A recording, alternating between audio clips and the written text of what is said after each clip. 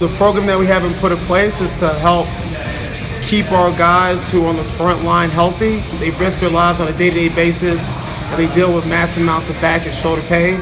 So what we want to do as a community was give them a system or a place where they can go to where they can feel healthy and improve their cognitive abilities so they can perform the work to the best of their ability. This mimics the job of a firefighter because we usually go on scene and the majority of our duties are encompass really kind of high intensity for about 10 to 15 minutes. And this really mimics that because here we have about 10 to 15 minute sessions that we go in before we kind of get a break. And so I feel more well-rounded. I feel more capable in doing my daily duties. Since I've joined OKC Respond, uh, I've lost a lot of the body fat, uh, the change in shape of my body. Uh, I'm not a big weight person, but I know inches are gone and muscle tone is much better. If you are not, you know, part of the OKC Respond, I really encourage you to, to at least give it a try.